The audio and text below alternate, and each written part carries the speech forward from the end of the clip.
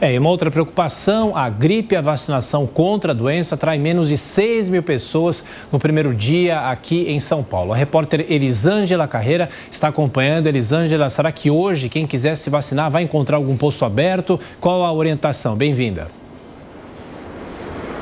Obrigada, Tiago. Bom dia. Com certeza hoje tem a possibilidade de tomar a vacina sim, porque até agora menos de 6 mil pessoas tomaram, segundo a Prefeitura. Isso pode ter acontecido por conta da véspera de Natal, as pessoas não queriam se imunizar.